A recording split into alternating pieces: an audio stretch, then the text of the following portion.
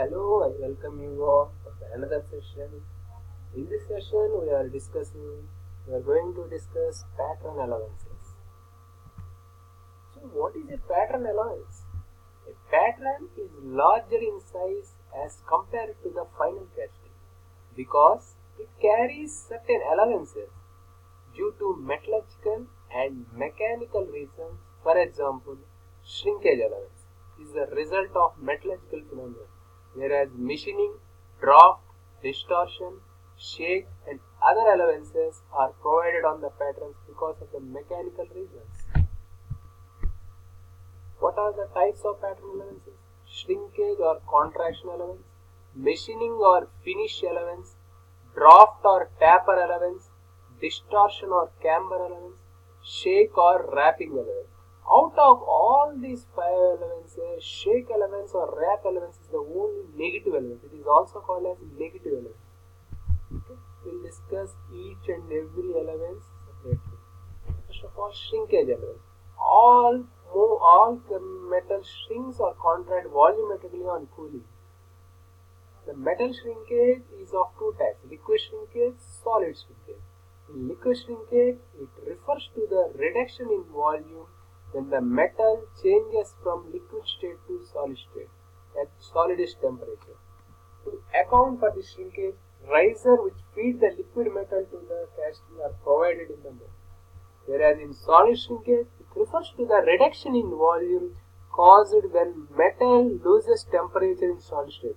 To account for this, shrinkage allowance is provided on the pattern. Intentionally, we add some extra dimensions to the pattern even though solidification after solidification shrinkage takes place uh, it suits the final casting whatever we require. Final shape of the casting final dimensions of the casting.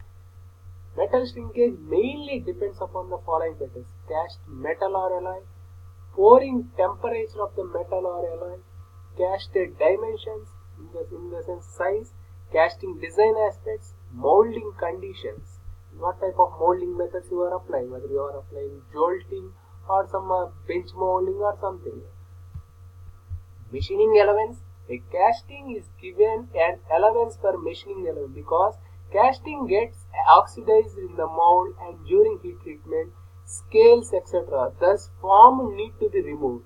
It is intended to remove surface finish and other imperfections from the casting. Because of the casting process, there may produce blowholes on the surface.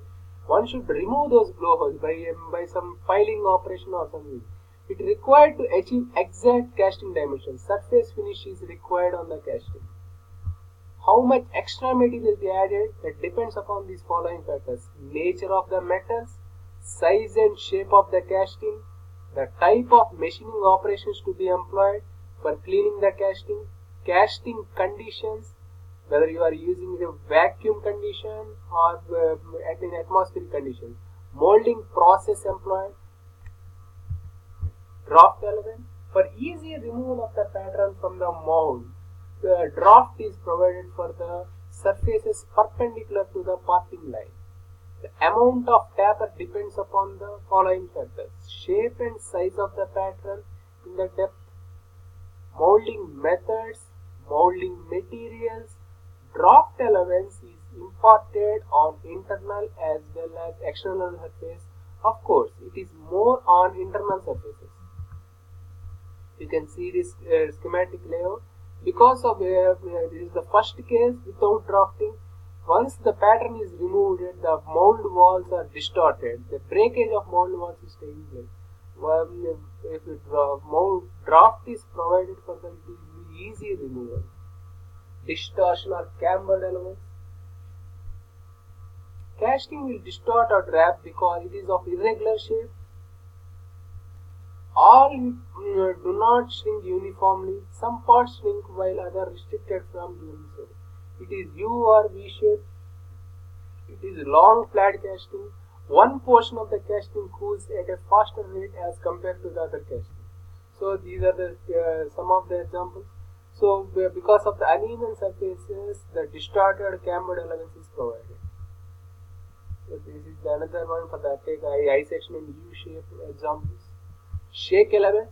The pattern is shaken or rapped by striking the same with a wooden piece from side to side.